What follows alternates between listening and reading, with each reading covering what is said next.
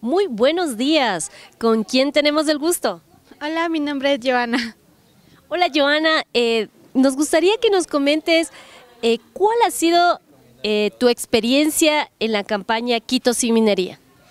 bueno, déjame decirte que yo me uní a Quito Sin Minería por voluntariado y la verdad para mí fue una experiencia muy hermosa porque me encanta el ambiente, también soy activista me gusta también hacer arte, de hecho soy cineasta, pero una de mis pasiones es hacer arte por la naturaleza.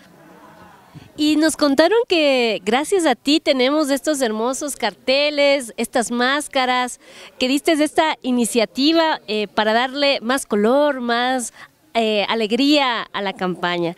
Eh, y, cuéntanos, ¿en qué te inspiraste para hacer todo este arte? Bueno, eh, como te digo, eh, soy artista, eh, me gusta dibujar, ilustrar, pintar.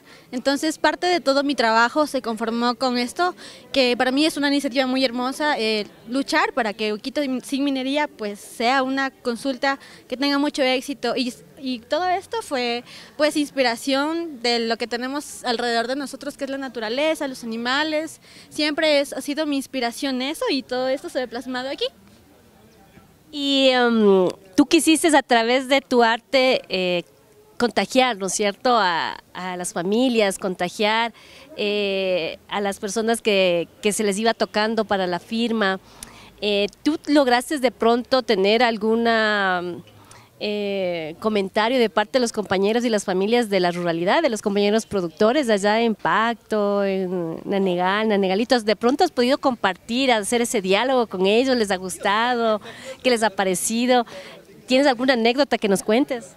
Eh, directamente sí, eh, justo en la marcha del 24 de octubre fue cuando nos juntamos para esto, todo esto se realizó para ese día, lo de las pancartas y una de las iniciativas eh, más importantes fue las máscaras, querer representar los animales del Chocó y lo que me dijeron es que fue muy bonito, que nunca se había visto este tipo de arte para una campaña y pues fue muy bonito para mí que ellos reconozcan, ver que muchos medios tomaron fotos, se publicaron, entonces para mí es muy hermoso y muy satisfactorio. Entonces, de pronto nos puedes eh, contar cuáles han sido tus sentires.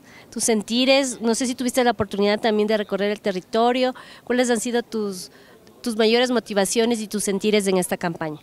Eh, sí he tenido la oportunidad de recorrer el territorio eh, y mi sentir más lindo es, como te digo, la naturaleza nos genera paz, amor y para mí es el mayor centro de inspiración el conectar con la naturaleza, los animales y ese aire puro que nos transmite el Choco en realidad. Y querer defender todo eso con el arte para mí es lo más hermoso que me ha podido pasar y la oportunidad que me brindó la campaña.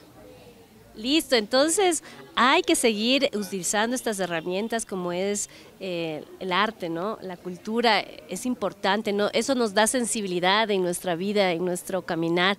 Y un mensaje que tú nos dejas aquí en La Minga para esa gente que nos está escuchando que les invito a que también se incluyan a hacer arte. Sabemos que el arte, la fotografía, el cine, el dibujo mueve muchas cosas y yo creo que con parte de lo que ha representado la campaña de Quito sin minería, mucha gente se ha sumado porque hay un atractivo hacia esto.